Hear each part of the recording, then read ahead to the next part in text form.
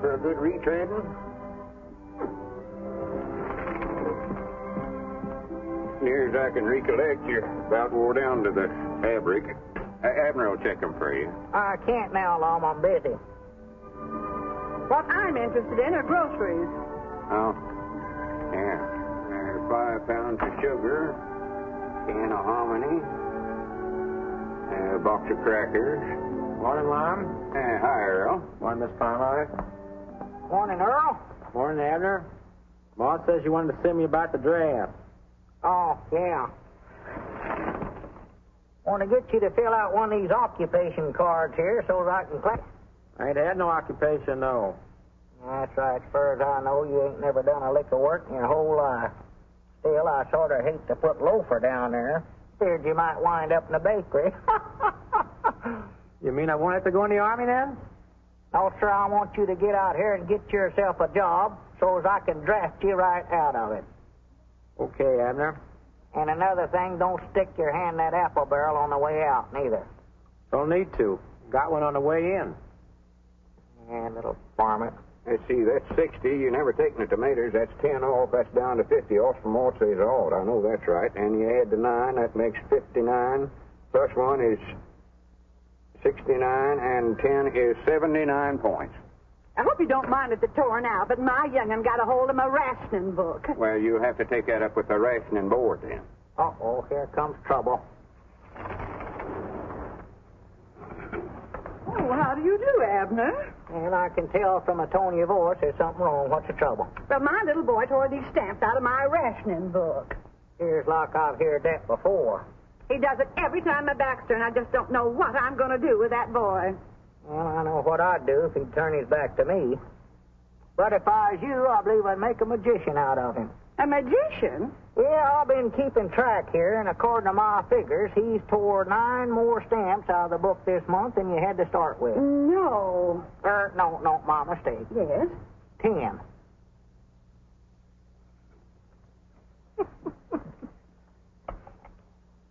Right, Granny, you done good, Abner. Be quiet, Mom, be quiet. Good day, ladies and gentlemen. First, let me Who's introduce that? myself. It's, uh, This is Chester W. Marshall, head of the told me. CAI TWE. E. Today, my message is to the common man.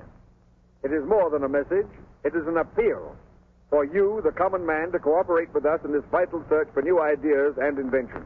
Inventions. Did you hear that? Yeah, I hear Today, you. our appeal is to you. As you know, many of our greatest discoveries were not the results of long, strenuous laboratory work and research, but were stumbled on by accident. I doggies, I bound you I can invent something that'll make Pine Ridge famous. If you do, it'll be an accident. I'll guarantee you that. That stumbling was done by men like you, and you, and you. Men from Vermont, Utah, Maine, Kentucky, California. He left Our out Arkansas. Why, of course he Some of the did. great inventors. Let's dig into history and notable discoveries that were made. Take Isaac Newton. Mom, you've heard of Isaac Newton's. I've heard of Fig Newtons. Uh, this is Isaac. Uh, one day he was sitting out under an apple tree, and an apple fell down and accidental hit him on top of the head. Accidental hit him, mind you. And after that, he had gravities. And a knot on his head. Yeah. And then there was Benjamin Franklin. Oh, Abner, quit listening to that criddle craddle and pish posh. First thing you know, you'll be starting out on another one of your inventing sprees. Good morning, Lum. Morning, Aunt Charity. Oh, yes, you called up about getting some extra gasoline. Oh, doggies, I'm going back here where I won't be interrupted.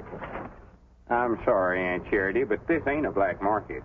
I'm feared I can't authorize no extra gas less than it's for essential use. But, Lum, this is essential.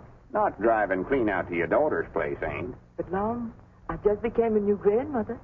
You did? Well, good for you. Six pounds, eight ounces. A boy. Oh, well, that's essential. Grannies, we ought to be able to figure something out of that. you can't ration babies, you know. They never have before, Lum. Wait a minute, I've got an idea.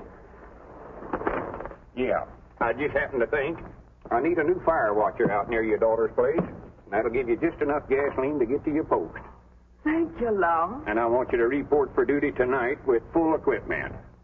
A pocket full of safety pins. oh, oh just a minute. Here, take off your hat.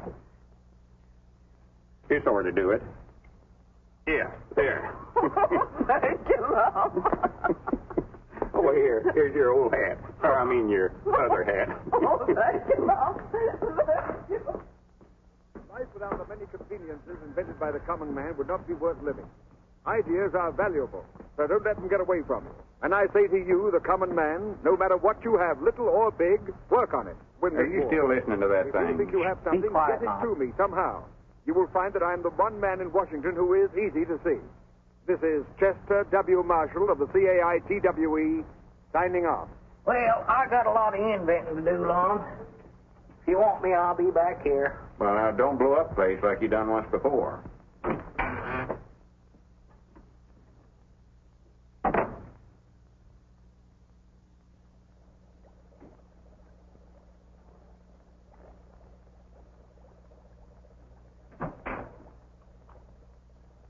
Abner, uh, come on home. It's two hours past closing time now. I can't leave till this stuff gets done cooking.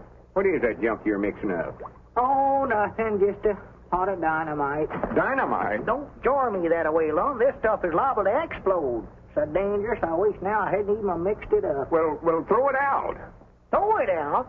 I wouldn't even carry that stuff out, Lum. Well, how do you aim to get shut of it? I'm just hoping it'll boil away.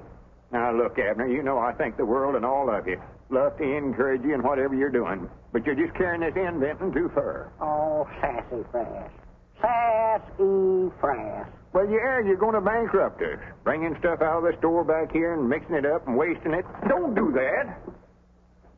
Now, this stuff here, for instance, what is that? Oh, that's just some uh, th- synthetic licorice I made up.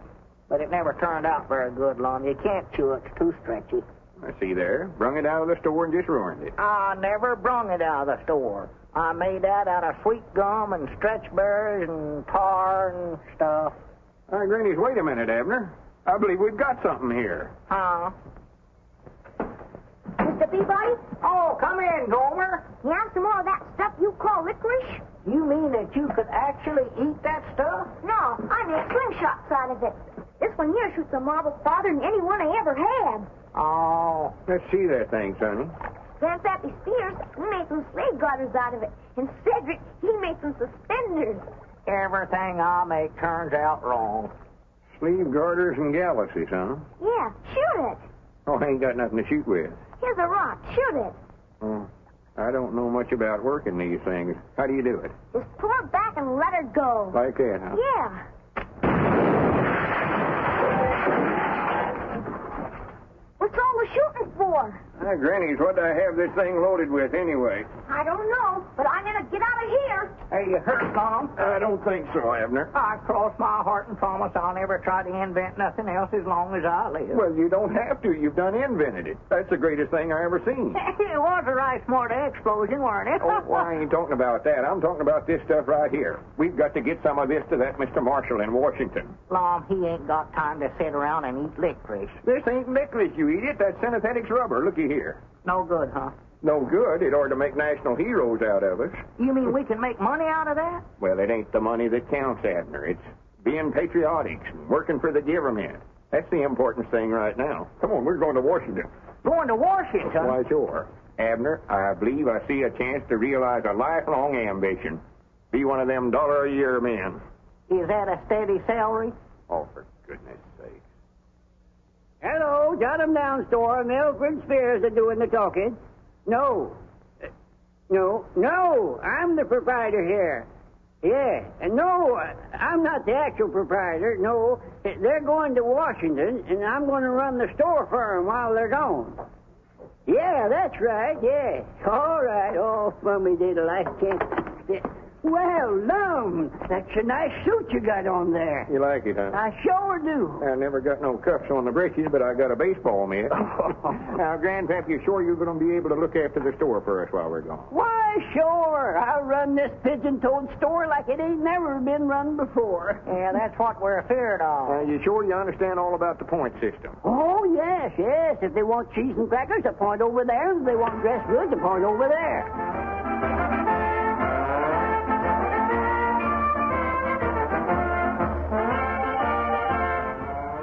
What's that? Well, that's all the town folks. They heard you're going to Washington, and they come down to give you a big send-off. Well, good for them. Come on, Abner, we got to get going.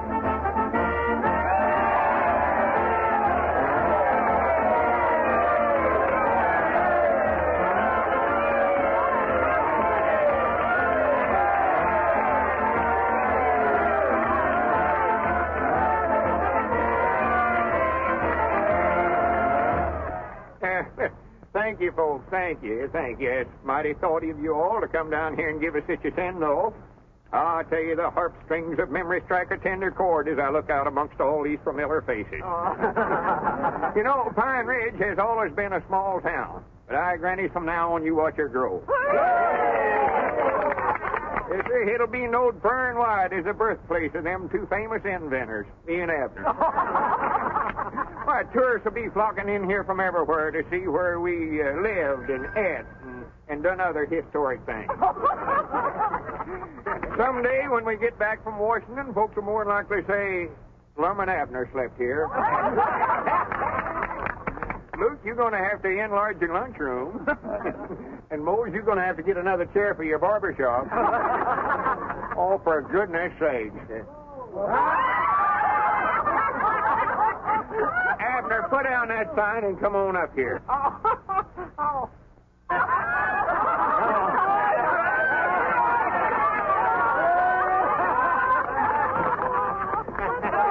Come on, it's 1.15. We better get started. Yeah, well, where's the samples of my synesthetic rubber? Right here. Oh, oh, well, don't worry, folks. When we get back from Washington, we'll have tar for all of you. And we ain't going to let it go to our heads neither. We're coming home speaking to you same as always.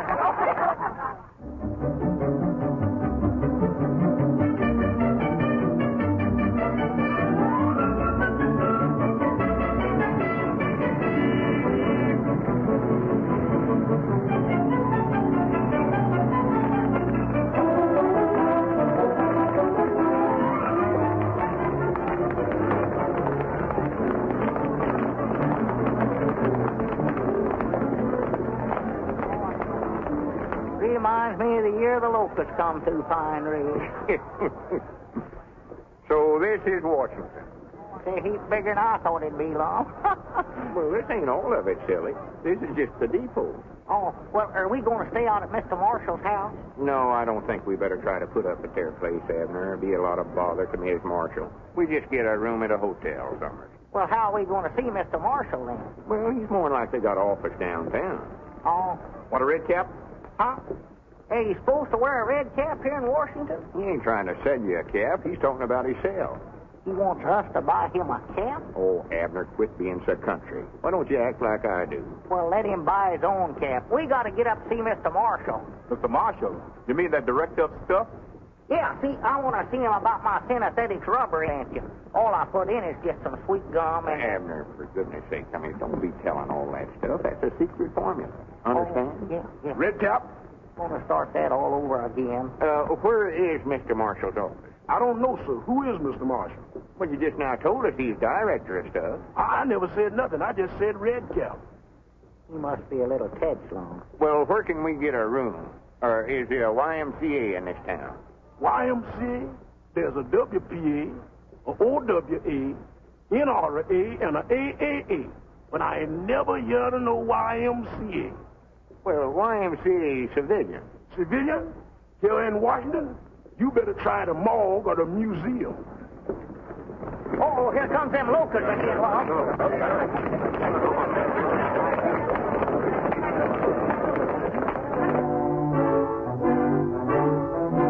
I hear you gentlemen correctly. You want a room? Here? Are you kidding? Well, it don't have to be a very big one. We will have some choice vacancies right after the armistice is signed. Yeah, we'll wait. Come on, Abner.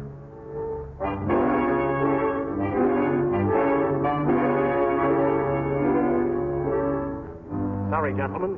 You might try Mrs. Hubbard's boarding house. She has a single bed with only one man in it. Oh, come on, Abner. Just a minute. I might have something back. I reckon he's seen we somebody important. Good for him. This way, please.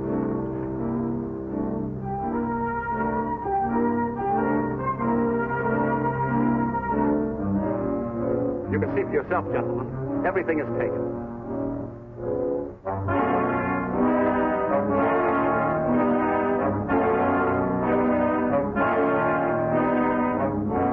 I'm sorry, gentlemen. So sorry. You mean the elevator's filled too? Yes, there's an ambassador and a brigadier general in there. Well, what about that chair over there in the lobby? Is There for a reservation? Oh. Did we learn? No. Well, well, wait a minute. There's a boarding house over on E Street. It's just possible she may have something. Uh, get me Mrs. McLean's boarding house. I hope you'll like it over there if she has something. You'll find it's nice and clean over there, yes. Uh, hello, Mrs. McLean? Uh, this is the clerk at the Golf Hotel. Happen to have a vacancy for tonight? You do? In the basement? No, the furnace won't bother. No, windows are not necessary. no, no. No, no, who wants springs? When you hold it, I'll take care of it. But she's going to hold it, we finally got it. Well, so long, gentlemen. I finally got a room for myself tonight.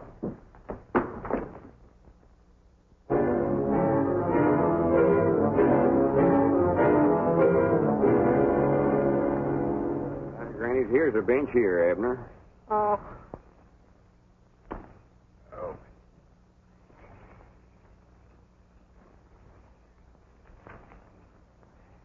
There's a room for rent right there, Lum. I know where they're at. I can read. Oh.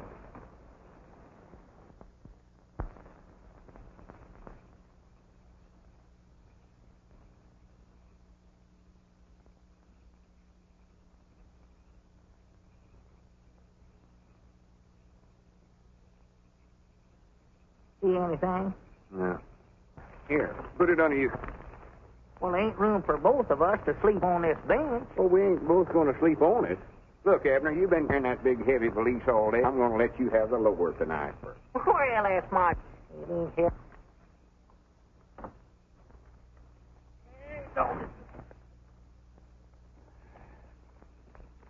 Oh, good night, Abner. Hey,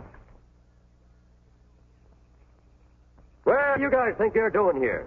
Oh, howdy, Constable. Why, we just sort of sleeping here on the bench. uh, he is. I am. Oh, you are, are you? What are your priorities? You fellas mind shutting it so we can sleep? All right, boys, break it up, break it up. Move along. And you two, on your way. And all the rest of you fellas back there. Come on, get up. Move along, boys. Move along. You can't block up the traffic here. Get going. You can't sleep here. You in the market for a good soft bed tonight? I have a room to put it in if we had one. Room goes with it, brother. You mean you got a room with a bed in it? Pipe down. The cops are liable to hear you. This is the real genuine article. Pre-war springs, all wool blankets, and brand new sheets. Right this way, you'll agree it's the best bed you've ever slept in, men. That's what they all say. That's what... You guys were lucky to run into me. I could have rented this place a thousand times, but I wouldn't give this room to everybody. No, sirree. I've been saving it for two guys just like you. There it is. Now, if you want anything during the night, just rap on the floor. Me and my wife are right downstairs. We'll hear you. We'll be right on the job. Go right in, man. Uh, Granny's, look, Abner. What is it? It's a bed, a bed. yeah. Yes, friends, here you are, here you are, and it'll only set you back eight bucks. Eight bucks. That's a little steep, ain't it? Take it or leave it, neighbor. Take it or leave it. It ain't hard for me to find customers these days. Oh, no, wait a minute. We'll take yeah, it. take it, Lum. Now remember, you got to be out of here by six o'clock tomorrow morning. So you better hit the hay right now. And no noise and no light. No light. That's the dim out regulation, my friend. Has nothing to do with me. Oh. If you want this room tomorrow night, I'll meet you in the park at the same time. And thanks a lot, friend. Hey, not at all. I notice I'm going to bed, Lum. Yeah, me too, Abner. I'm wore to a frazzle. Wore to a frazzle.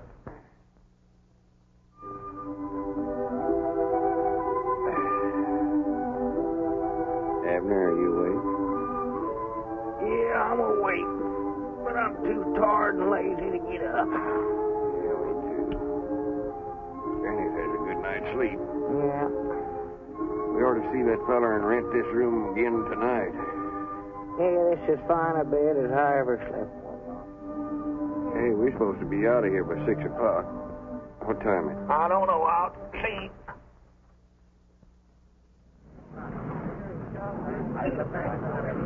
Hey, doggies, it's 8.30 right now. Eight thirty. Yeah, he sure give us a room with something in it.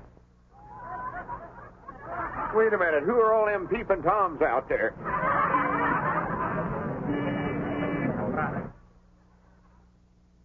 Get up and pull down the shade, Lum. I ain't going yourself. Now go on, Lum. I ain't going to get out there in front of all them people. What are you doing in here? What are you doing in here? Yeah, we paid eight dollars for this room. Get out of here. Room while you're in my show window. Showing.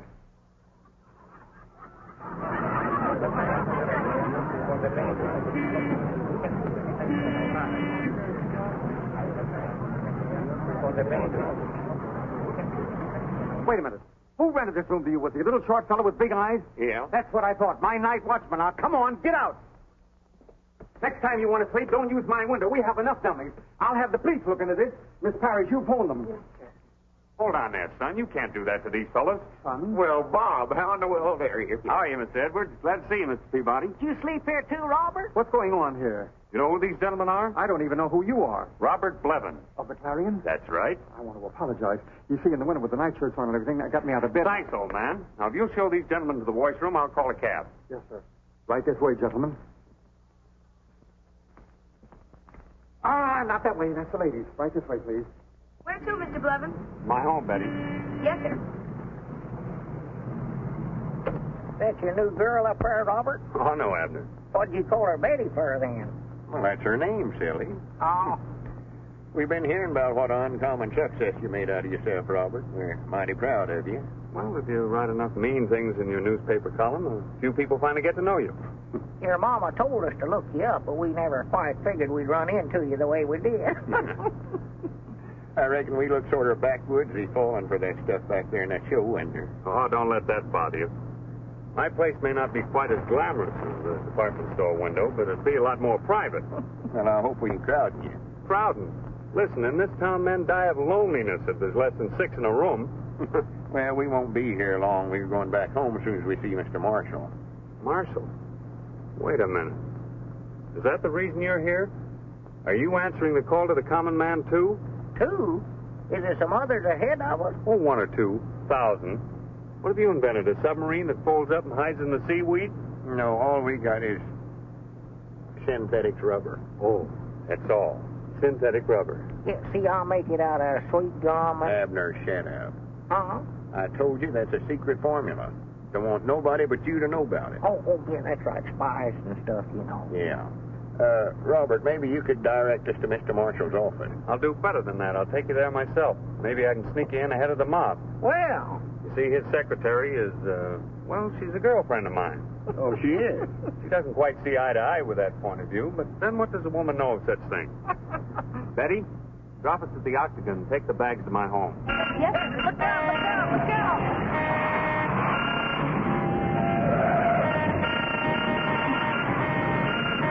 Darn those men drivers.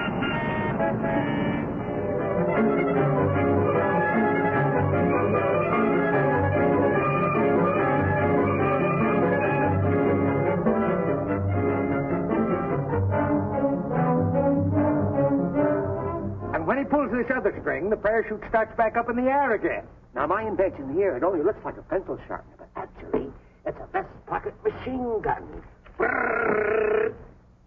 And my invention, sir, is a hair restorer. A what? A hair restorer. All you have to do is put a little on your hand like that, and rub it together, and put it over the bald spot there, and your Cover hair... yourself up, cover yourself up.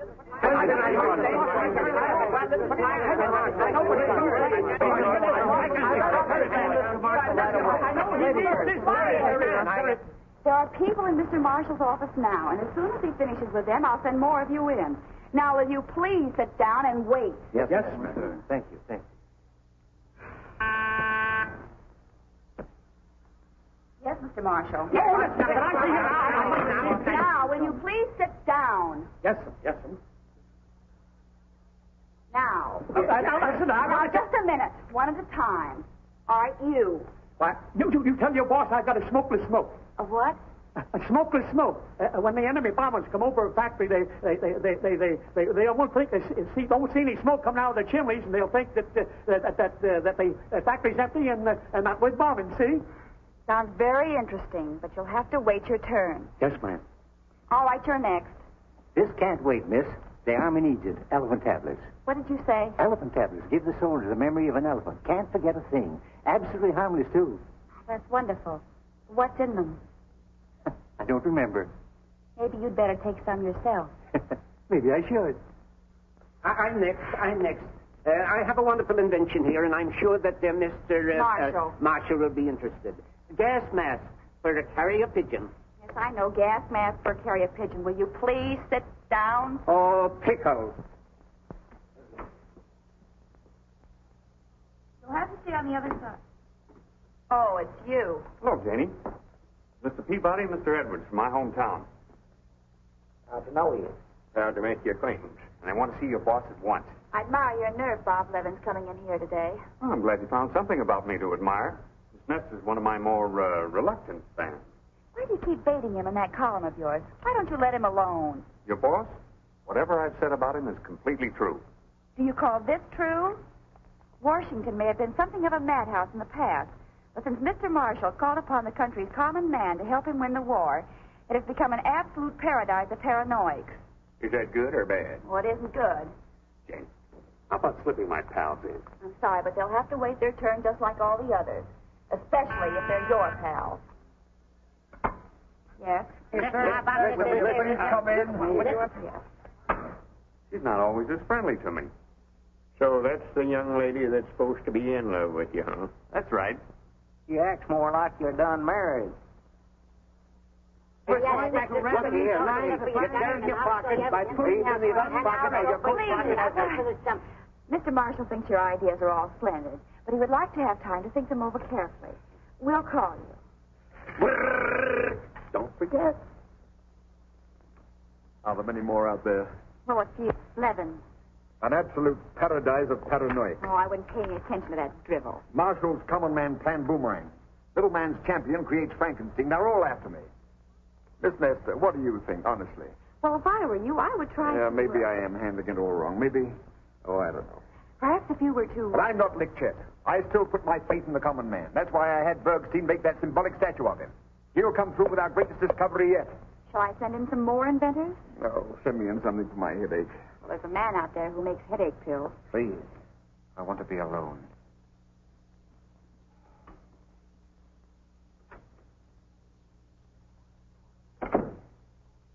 Mr. Marshall's office. Who's calling? The invisible man? Sorry, Mr. Marshall can't see him.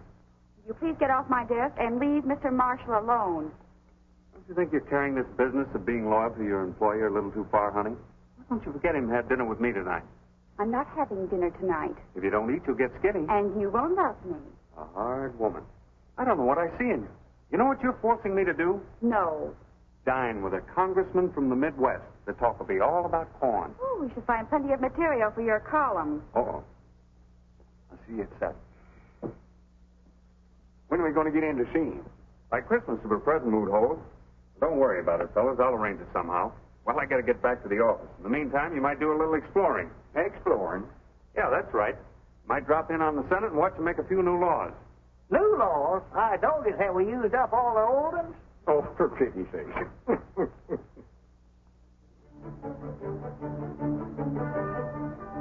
you know, Abner, I could stand here and look at it all day long. Yes, sir. I believe that's the biggest building I ever seen. Well, I ain't talking about the size of it. I mean, what it stands for. There's the capital of the greatest nation on this earth. yeah. A feller can't look at it long without thinking about the hardships and the sacrifices our forefathers made to make all this possible. No. Such statesmen as Washington and Hamilton, Jefferson. So that's the Lincoln Memorial, huh? Yeah, one of the greatest statesmen of them all. His ideals are the very principles this country was founded on. The principles we're fighting so hard to preserve right now. That this nation, under God, shall have a new birth of freedom, and that government of the people, by the people, and for the people, shall not perish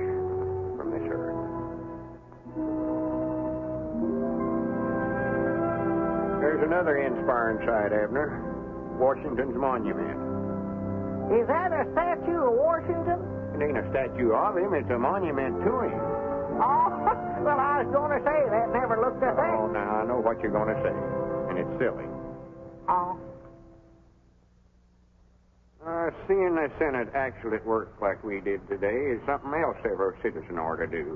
Some right interesting stuff said there. Yeah, uh, Mom, guess what did they say? I never could keep up with what they was talking about. Couldn't you follow that? No, I jumped the track there somewhere.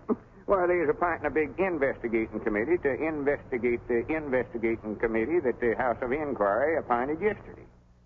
Ah. Wait a minute, there's a bench. Let's sit down a while, Abner. I'm just wore to a frazzle. Well. Wore to a frazzle. I would be derelict in my duty to the citizens of my state if I didn't do something about the situation. But I'm helpless. Helpless. You say the soil is completely arid? What wasn't blown away in 38 is now parched by last year's drought. Gone so far that even crop rotation doesn't help. Still, my bill for reclamation gets nowhere. I'm at my wit's end. I sympathize with you, Senator. I know exactly how you feel. They tell me that if I could find a cheap way of having it done. Worms will do it cheap, Senator. Were you talking to me, sir? Yeah, I say if you had worms. If I had worms. Well, he don't mean you personal. He means in the soil. See, they make the ground good for growing stuff. Earthworms do that? Why, sure. Yeah, you've got a special kind of worm you can get. You can either buy the worm itself or the eggs. Now, we had a drought down there in Pine Ridge a few years back, and, well, worms practical saved our lives, what they done. Dead right, Abner. Yeah, well, Al Potter's still raising them. Yeah? Why, this is very interesting. But worms injure the delicate roots, don't they? No, not these don't. See, they're little red worms about that long. Yeah, long. and uh, besides making the ground good for planting, they sort of, well, plowed up as they dig through it, you know. Really? Yeah, you get a whole bucket full of them from Al for a quarter. but I have an entire state to take care of. Well, you'll need more than one bucket then. And that, I'm afraid, would run into money. no, see, they, they breed pretty fast. Yeah, you just get yourself a mama and a papa worm, and before you can say Jack Robinson, Well, you no need to go into detail about that, Abner. Uh, Well, this is splendid, gentlemen. I owe you a great debt of gratitude. Uh, goodbye, Congressman. See you later. Goodbye, Senator. Thank you, gentlemen. Thank you. Not at all, Senator, not at all. Uh, you say you're from a place called Pine Ridge? Uh, yes, sir. I gather that's a small town. Well, yeah, but the biggest small town in the world, though, I'll say that for it. might nigh as big as Cherry Hill right now. Huh? Don't pay no attention to him, Congressman. Well, if you're from a small town, perhaps you can help me, too. Well, we'll be proud to try. What's your trouble? I have rather a grave problem. The draft has taken many young men from our rural communities, and the men and women left behind are migrating to the large production centers because of wartime wages. Natural, natural. The result is a great many of our small cities are becoming ghost towns. Well, sir, now, we was faced with might nigh that same problem down there at home, wasn't we, Abner? Why, sure. You were? Well, tell me, what did you do? Well, the first thing we done, we appointed a committee to sort of look into the matter. And we found, whilst they could make more money working in the city, they... They could live a heap cheaper in Pine Ridge.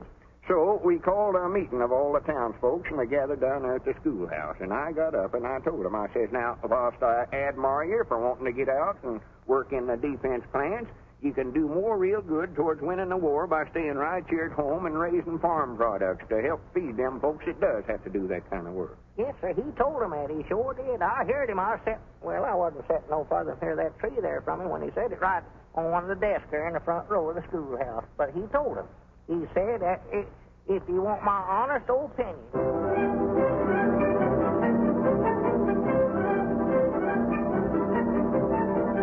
That question had been worrying me for weeks, and they had an immediate solution.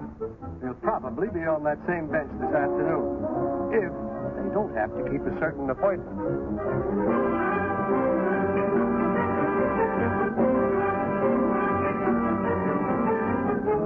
Earthworms, they told me.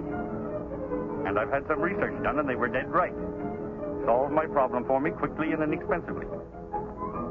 Oh, they were on a park bench just off the tidal basin.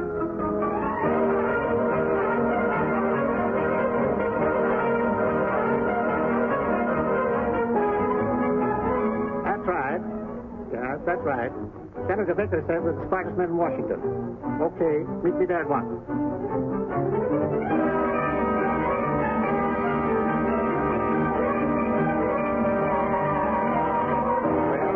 Well, I reckon that about takes care of your case all right. I should say it does. Thank you, gentlemen. Thank you very much. Thank you. Thank you. Not at all, not at all.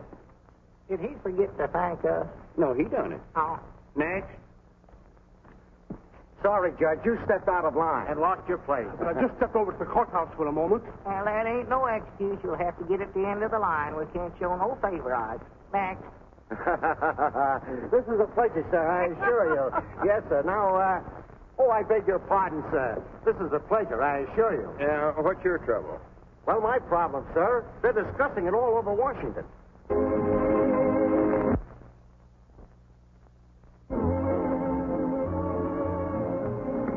I'm glad I ran into you, Janie. Got something here for your boss. Now, to the untrained eye, this looks like an ordinary tray. Actually, it's what the country needs a dehydrated jukebox. All you do is add water, you get K Kaiser. Oh, be quiet, Bob. that sounds more like the old Janie. Old Janie is right. You know, you ought to go away for a while. Like, say, on a nice honeymoon with a pleasant young newspaper man. Hmm, that would be fine. But I don't know any pleasant young newspaper man. I used to, but he's gone into the poison pen business. No, seriously, Bob, just what do you have against Mr. Marshall? I haven't got anything against him. I love him. He's wonderful copy.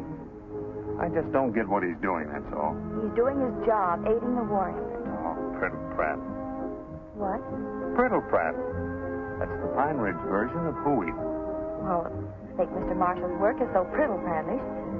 Why are you so interested in getting your Pine Ridge friends in to see him?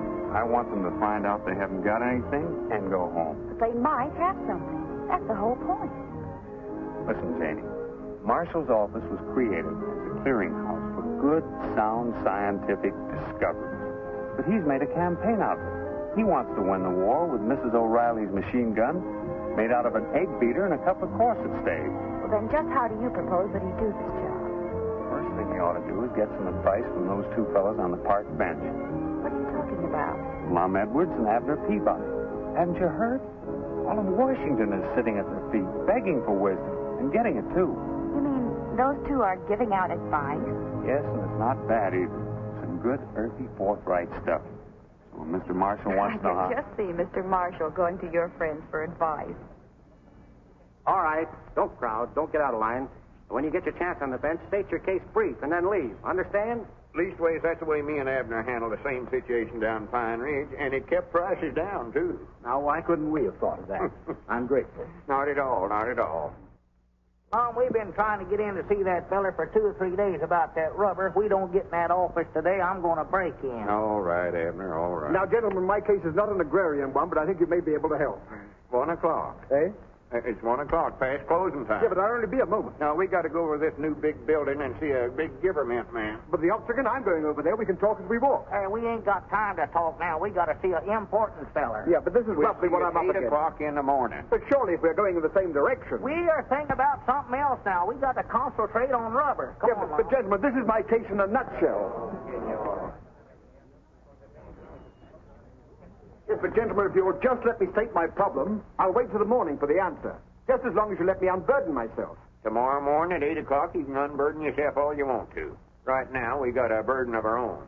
You still got it, ain't you, Abner? Yeah, burden safe. I Yeah, but the whole problem will be settled if you only let me talk.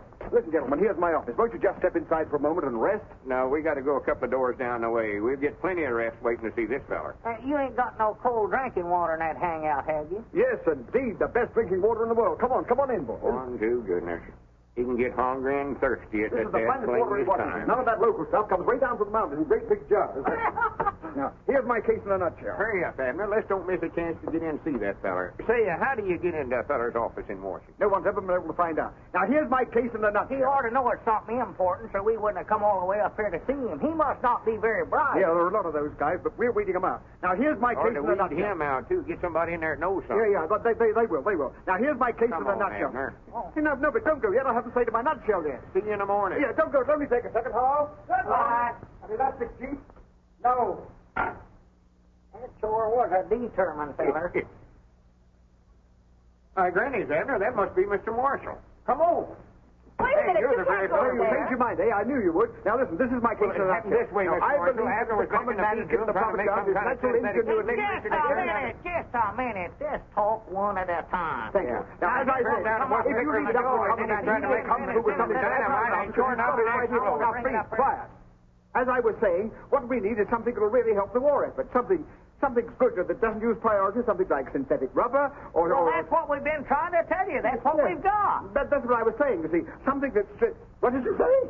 We've got it right here in this bag, invented by me, a common man.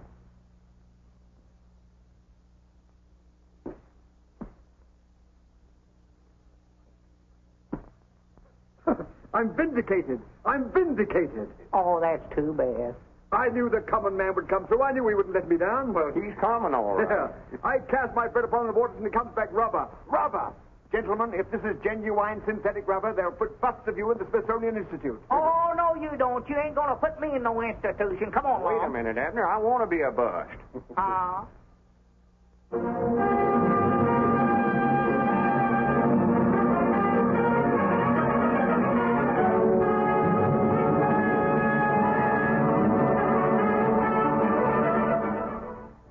spite of the announcements coming from Mr. Marshall's office that he had discovered synthetic rubber, this reporter remains entirely skeptical. of fine, well-meaning gentlemen, but they are not scientists. Therefore, it is hardly creditable that they have produced a truly synthetic rubber. It is this reporter's belief that Mr. Marshall's rubber party will bounce on him. That is the sort of idiotic, senseless remarks that I've been getting lately from some of the more intellectual members of the press. But today, it's my turn to give out with a few.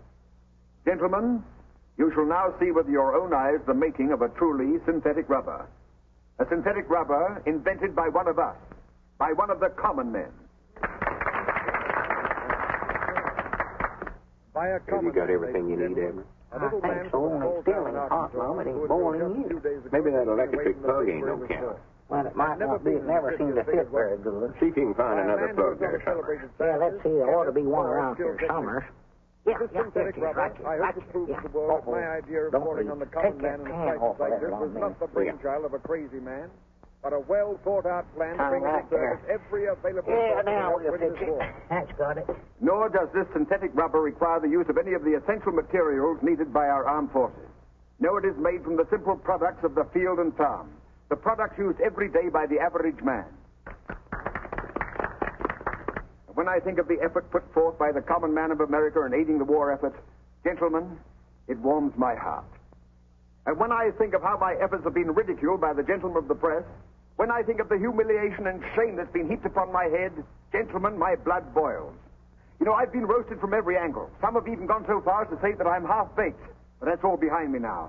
Gentlemen, I repudiate the hot seat that you prepared for me. At last, we've got what we've been looking for.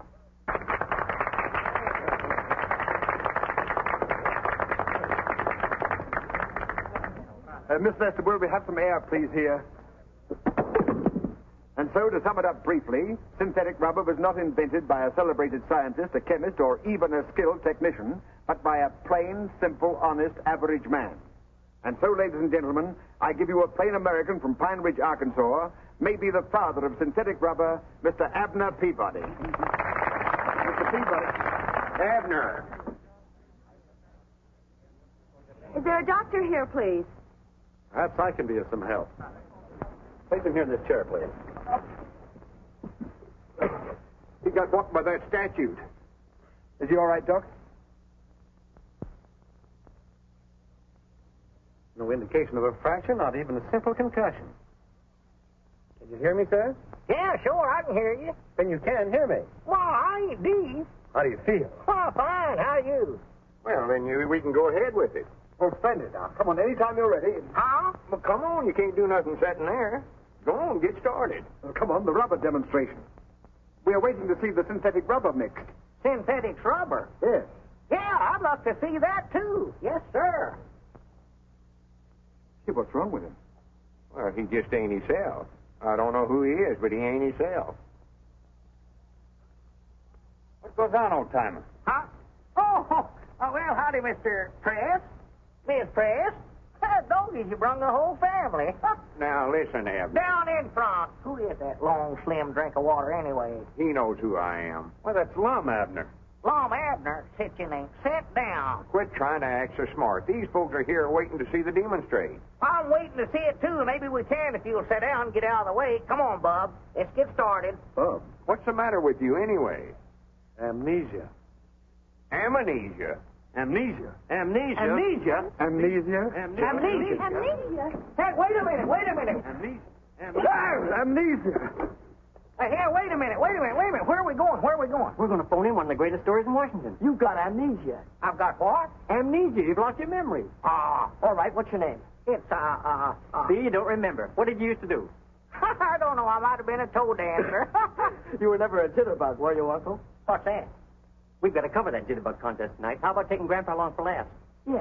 What do you say, old timer? Hey, what is a jitterbug? You know, jive.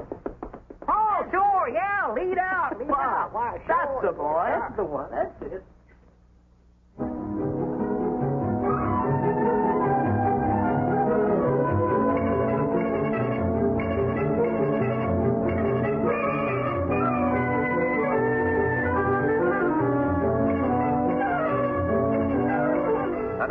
Country, the whole world will laugh at me. And look at that stuff. I don't even know what's in it. What have you found out? Sweet gum. Extract of licorice, I think. These other things, I don't know what they are until I take them to a laboratory and analyze. Well, what are you waiting for? Take them along and analyze them. This is a national crisis. Yes. And this is just as much your fault as anybody else's. Why didn't you let him tell you his formula? Well, I figured it was a military secret. Yeah, I, I thought he ought to tell nobody but himself. In case of spies or fifth column. Ah, spies. Well, what are you hanging around for? Why aren't you back taking some more cracks at me in your column? Oh, dry up, sir. I'm worried about Abner Peabody, a good friend of mine. Hasn't that doctor finished his examination yet? Where are they all? Oh, why did I ever come to Washington? Why didn't I stay on my old job? Well, why didn't you? Because my country's in for me. So where have you been? On the telephone with the president of the board. He said to tell you that, Yes? That you've made a fool of yourself. He's giving you one week in which to find the rubber formula. A week? Oh, why did I ever give up my I'm life? on the bean, kids. I'm in the groove. I'm cooking with gas right up on the front burner. Slip me a little skin, bud. I'm a ready teddy. I'm one A sure as the world. And ain't but one branch of the service I want. That's the Marine Corps. Abner, Or if they're filled up, I'll go into the paratroopers. what are you talking about anyway? What's the matter, Grandpa? Don't you understand? I'm hep with helium. What are you, a square from Delaware? Square. Oh, you ain't hep, kid. That's your trouble. You ain't a gator. Why don't you go back in your corn crib and pull a shuck over yourself? Oh, for goodness sakes, Abner. Don't call me Abner. That ain't my name. What is your name? Buster V. Davenport. Buster B. Davenport. Yes, sir. Where'd you get a name like that? Right here on my underwear. Big initials, BVD. When are you going to sign me up, kid? Pretty soon, pretty soon. Well, you can't make it too soon for me. Oh, Mr. Davenport, uh, now I have to make a report on your physical condition to uh, my colleagues here. Would you mind waiting in the outer office? Well, all right, Sawbones, all right. There's a bunch of hep cats down here to jitterbug doing the jive, and I want to go down there and join them anyway. Cut myself a rug. And I mean cut it up into little pieces, kid. What are we going to do, Doc? Amnesia's a strange condition. Now, he could come out of it by himself. Sometime. We can't wait. We've got to do something right away. Well, this is a very stringent method, but it has been known to work. Now, he lost his memory through a blow on the head. Now, another blow in the same locality might. No, no, no, no, Doc. We couldn't do that. We might kill him. Yes, you might. Well, uh, well, why not let him go back to his old hometown? Uh, familiar faces and places might do the trick. Uh, Granny, that's a good idea. Or let's get started right away. Find out about the trains, will you? Hey, kids, I just happened to recollect something. Well, good for you, Abner. I, I, I know now what branch of the service I want to go into. The commandos. Well, we're all going back to Pine Ridge. You can join up back there. Well, get to rootin' and snootin', Newton. Uh, I I just sitting here studying, Mr. Marshall. Do you ever notice when you're riding along on a train this way, how the trees and stuff down close to the train looks like they're going in this direction, and the scenery's way out yonder looks like they're going forward. Huh. A- Another thing that always sort of bothered me. Uh, supposing there's a feller standing right here now, and he was to jump up in the air, would he come back down right where he jumped up at, or would the train sort of run out from under him and he'd come down back here? Down there. Down here. You're listening, ain't you? Well, now, supposing he got up on top of the train, and, and it, it, this is the back car right here, and it's going 100 mile an hour in this direction. He's standing right here, and he jumps up in the air. Would he come back down on the back end of the car, or would he miss it and fall down here on the tracks and bust himself wide open? I don't care. You mean you'd let him fall right down? Oh, I don't either. I, I don't even know the fellow. You don't seem to realize what this means to me. My whole future in Washington depends upon his getting his memory back and me getting that rubber formula. I don't want anything to jeopardize it. I take great pride in serving my country as a dollar a year man. Now, Granny, now there's something I've always wanted to be, is a dollar a year man. I'll be getting me a Pine Ridge yet. Over two days on the train. You're sure we haven't passed it? Oh, no, no, I know we ain't passed it. No, yonder's Briar Creek. I'd know that anywhere. And yonder's Rich Mountain. Well, wake him up and tell him about some of these places. Uh, he always gets mad whenever I wake. Abner? Abner. Will you go off and lose yourself and quit bothering me when I'm trying to sleep? I don't want to talk to you, Grandpa. I don't dig your jive, kid. I just don't dig you. See what I mean? Say, that uh, Rich Mountain is a pretty tall peak, ain't it? Oh, yeah, that's about the highest point twisted the Appalachian. What did you say? I say that Rich Mountain is a pretty high peak, all right. How did you know that was Rich Mountain? You just now called it that when you was talking to him. Oh. Another thing, that feller on the end of the train would have bounced like rubber. Rubber? Rubber? Don't holler at me. Let me sleep.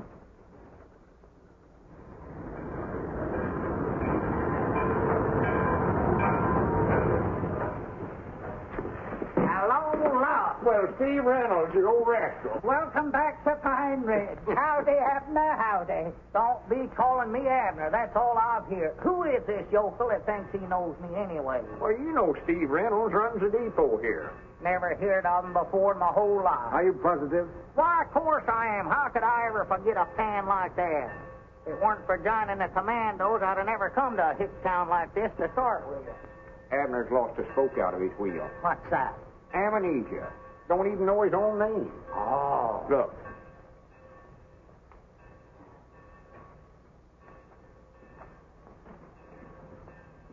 Get me Aunt Charity Spears. Abner lost his memory complete. Don't know who he is nor nothing. Lum says to everybody to bring their faces over to the store. Thinks maybe they'll help him to recollect. Yeah. I was thinking that maybe some of them faces would scare them into remembering. Yeah, mine's plumb gone. And Lum says for everybody to get right over to the Jot 'em Down store right away. Yes? Yes? His mind is blank. Blanker than usual? Well, I'll be right over. I said I'd be right over. Well, here you are, Mr. Davenport, right back in your own hometown. Right in your own store. Now, these people are all your friends. They all know you. Don't you recognize any of them? How many times have I got to tell you my name's Buster V. Davenport? You want me to prove it to you? Just a minute, Buster. What are we doing down here anyway? Looking for a Japanese spy? No, not Well, exactly. what are we doing? Quit stalling. Well, you know Aunt Charity Spears. I never seen that old woman. Hold oh, your temper. You better hold Pappy. She don't look like no Japanese spy. Or neither with your circus, bud. You doing playing hooky? What are you smiling about, kid? Wait a minute. Wait a minute. There's your man. There's a Japanese spy. What's your name? Where do you live? What do you do? Where's your draft card? Don't stand there grinning at me, you Japanese man. Bring me a piece of rubber hose. I'll give him the third degree. Yeah, I thought that'd make you blink. You mean to say the chemical laboratory hasn't turned in that report yet? No, they haven't, Mr. Marshall. And oh, yes, there was something else I wanted to tell you. There have been some people here looking over your offices. Perhaps. Looking over my offices? Listen, you tell them I'm not finished yet. Yes, I know, but uh, I guess they're looking just in case. Yeah, well, there's still two more days to go on that week. And by the way, people here have been asking for Mr. Peabody and Mr. Edwards. Evidently, their advice is medley. I'm not interested in that. When you get that report, bring it along to Pine Ridge. Yes, sir, the very moment that I get it. Goodbye, Mr. Marshall. Sounds like he's in his usual dithers. Oh, why don't you let up on him? Uh, well, if you'll come and work for me. Me take your dictation? You don't need a secretary to help you turn out that column. What you need is a gremlin. Domestic work is what I had in mind for you. Housekeeping, cleaning, cooking. Cooking? Sure, cooking. I'm no way.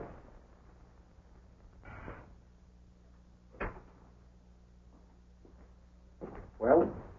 Well, what are we going to do, Doc? He's back there in the feed room now. He thinks he's a commando. Yippee! All right, every man for himself. Have you tried a shock? Maybe a sudden fright. Boom! No, no, don't do that.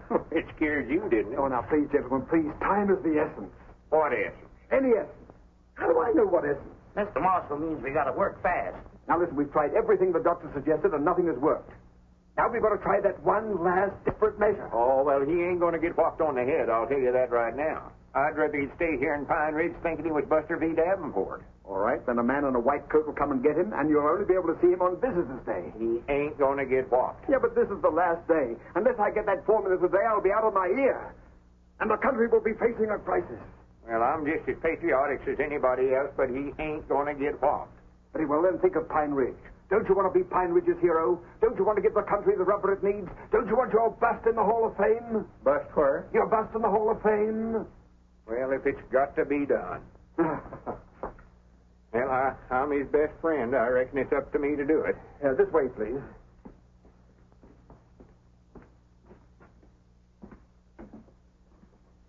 Well, now, here we are. It's just the very thing. Now, don't be squeamish. Just let him have it. One good one. White men were in enemy territory.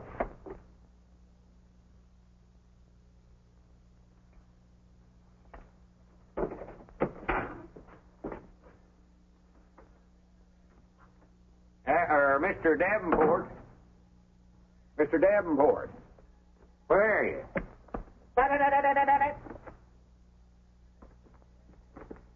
Mr. Davenport. Oh, there you are.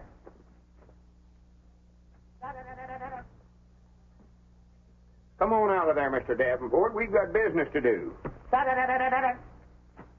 Oh, come on, Mr. Davenport. Stop that playing. Mr. Davenport. Where are you? Well, where are you? Abner, I know you're under there, Summers. Abner. Get out from under that. Pick 'em up. Oh, don't do that. Get out from under there. I can't do it. I'm fixing to make an innovation. I strike at dawn. For goodness sake, come on. I want to talk to you. I want to talk to you, too. How many men you got? How many airplanes? How many tanks? Abner, I ain't got time to play soldier. I ain't Abner. I'm General Buster V. Davenport of the Commando. All right, General, come on out. Maybe I'll surrender. I told you that's better. Yes, sir. Is it clouding yet? No, all I hear is a lot of talk. All right, name your business. Uh-oh. Well, Doggies, you're a commando, too, huh? Well, sorter. Uh, uh, what do you want to talk to me about? well, that's. Uh, hand me that seed catalog there. That ain't no seed catalog. Them's my secret orders. Oh, you know good and well that's a seed catalog. Did it? Not yet. Here, pick me out some nice flowers for my yard. Flowers? Yeah, and just keep looking at the book. Yeah, I think I sort of used to be in the flower business if I could recollect it. Uh, General, if you got a hit on the head with that hat on, would it hurt you any? Why, of course not. That's the reason I wear it. Oh, I'm scared of that. I mean, that's fine. Uh, There's some well, roses. ain't it terrible uncomfortable? It's awful heavy, awful heavy. Well, why don't you take it off and rest your head a few minutes? Can't do it. I'm on duty. Oh, well, let me try it on. If it fits me, I might join your army. Why, sure. Yes, sir. Be proud to have you. No. Let's see now, uh, what sort of flowers did you want? Lilies are nice. Oh, uh, lilies, huh? Yeah, them is nice. Yes, sir. Lilies is awful nice. And I'll oh, tell you you. still got the hat on. Let me try it on again. Uh, oh, excuse me, excuse me. I thought you'd done with it. Here. Yes, sir. These nasturtiums were pretty. I'm going in. Locked. Just makes an awful pretty bed of flowers. I love that. Oh, Granny. What's the matter? Oh, my, what happened to Mr. Marshall? Here, Mr. Marshall. Mr. Marshall. Oh, my Mr. goodness. Marshall. Have you hurt? Get him up. Oh, What's the matter, Abner? Did you hurt your head? I don't think so. Well, come on. Let's get him up from here. Hi, Doggies, Lum. We're in our store. Oh, well, I know where we're... Uh, Hi, Granny, she called me Lum. Doggies, what are we doing here, Lum? Abner, you just called me Lum. I've been calling you Lum for 50 odd years. I thought we was in Washington. You've got your memory back. He's got his memory back. Well, what are you folks doing here? Oh, well, Abner just got his memory back. I don't know what he's talking about, but we ought to be in Washington looking after my rubber formulae. It isn't necessary, Mr. Peabody. I have the chemist's report right here. Mr. Peabody's invention definitely is not rubber. But it builds complete airplane runways in two hours. All you have to do is dump it on the ground and it hardens to a level mass. It's a new asphalt. Builds landing fields quicker than any other material. Builds landing fields. What about all them youngins that been eating that stuff for licorice? I reckon we'll have the only interior landing fields in the world. and by the way, I have a very special message for you gentlemen. It's from the Research Board. It would like you to act as an advisory committee on farm problems. Advisory committee, huh? And what's more important, Mr. Edwards, you're going to serve your country as chairman of the board as a dollar a year man. Dollar a year, man. Did you hear that, Abner? And Mr. Peabody is to be your assistant at $10,000 a year salary. Ten thousand dollars a year. Did you hear that, Lum? Did you hear that, Mr. Marshall? Who's Mr. Marshall? Why, that's you. No, I'm Buster V. Davenport. A commando.